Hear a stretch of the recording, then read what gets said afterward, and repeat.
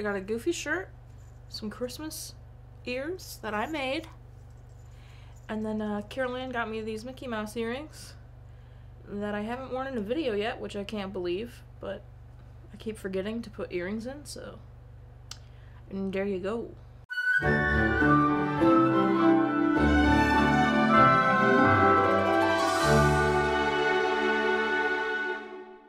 Welcome back to Every Disney Movie Ever. My name is Jess and I'm watching Every Disney Movie Ever. Today I'm going to talk about Goof Troop Christmas. Have yourself a merry little Goofmas. Goof Troop Christmas is a 1992 Magical World of Disney television release. It is written by Jymn Magon. There were a lot of different kinds of directors, so I'm not really going to go over those. But Jymn Magon wrote it, so that's kind of like the leading helm there. And I covered Jymn Magon in DuckTales Treasure of the Golden Suns. Link in the description. Animation directors include Marcia Mantta, Charles A. Nichols, Mitch Rochon, Richard Trueblood, Woody Yocum, and Bob Zamboni. Marcia Mantta is best known for the Aladdin television series, Fancy Nancy, Jungle Cubs, and the Little Mermaid television series. Charles A. Nichols is best known for Alice in Wonderland, Pinocchio, Alvin and the Chipmunks, and the New Adventures of Winnie the Pooh. Mitch Rochon is best known for Heavy Metal, Phineas and Ferb, Star Chaser, The Legend of Orin, and Gargoyles. Richard Trueblood I covered in the video about TaleSpin, Plunder, and Lightning. The link will be in the description. Woody Yocum is best known for Heavy Metal, 4WD, Room to Grow, and The Adventures of Teddy Ruxpin. Bob Zamboni I covered in the video about DuckTales Treasure the Golden Suns. The link will be in the description. The post-production supervisor is John Boyer, and he's best known for Darkwing Duck, Pickle and Peanut, Kim Possible, and Gargoyles. The music is by Mark Watters, and he's best known for Robin Hood Prince of Thieves, Mr. and Mrs. Smith, Aladdin the television series, and Bird on a Wire. The film stars Bill Farmer, Dana Hill, Jim Cummings, Rob Paulsen, Nancy Cartwright, April Winchell, and Frank Welker. Bill Farmer plays Goofy, and he's best known for being the voice of Goofy in literally everything. But I will say he's also Sylvester, Foghorn Leghorn, and Yosemite Sam in Space Jam. Dana Hill plays Max, and I already covered them in the video about the kids who knew too much. The link will be in the description. Jim Cummings plays Pete, and I covered him in the video about DuckTales Treasure the Golden Suns.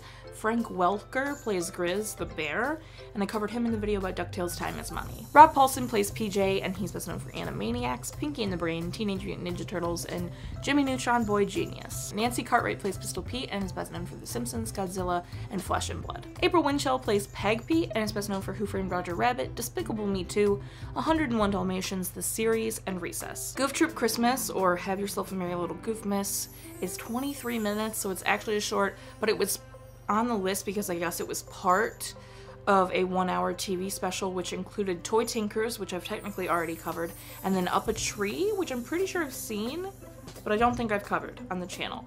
And then I guess it also had some behind the scenes looks at Aladdin, because Aladdin was about to come out. So I covered it.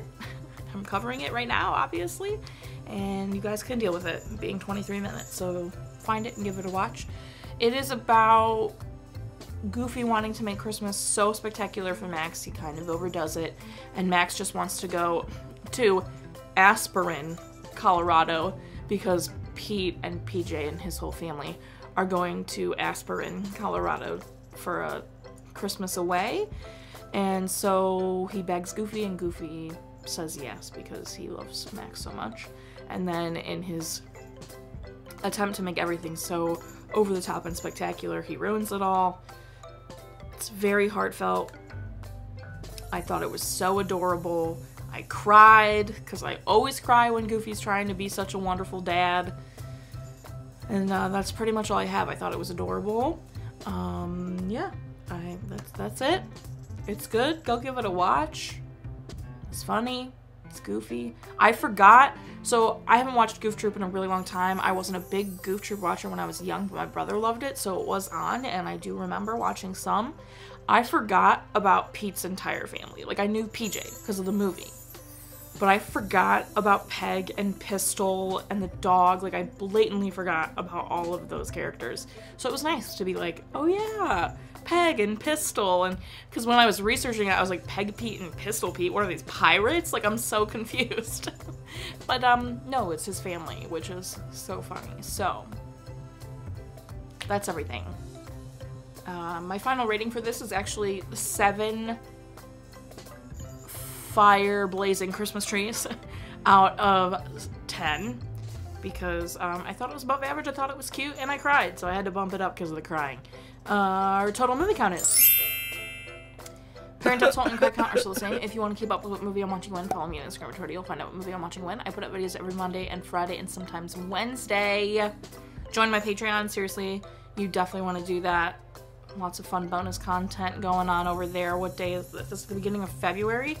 So I'm already back from Florida, which means you should be getting the vlogs soon if you haven't already started getting them. Exciting. And then also, um, I did a soft launch on merch, so please uh,